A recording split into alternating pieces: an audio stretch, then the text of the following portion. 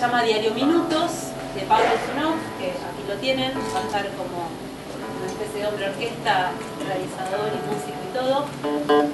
Una serie de diario minutos, o sea, de video minutos, que en realidad fueron pensados para estar en internet.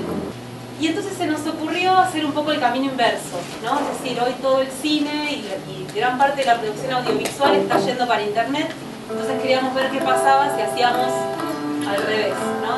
Es decir, nos bajamos de internet y volvemos a, una sala parecida a lo que sería una sala cinematográfica y aprovechando que es músico también, bueno, empezar a generar como un juego sonoro entre lo que está pasando en pantalla y esta especie de, como de evento en vivo que vamos a tener hoy.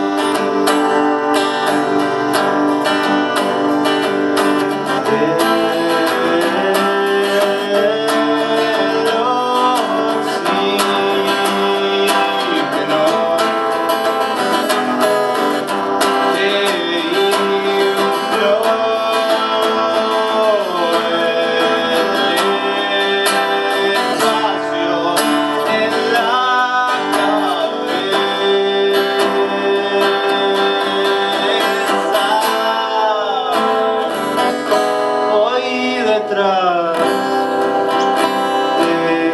esta fortaleza.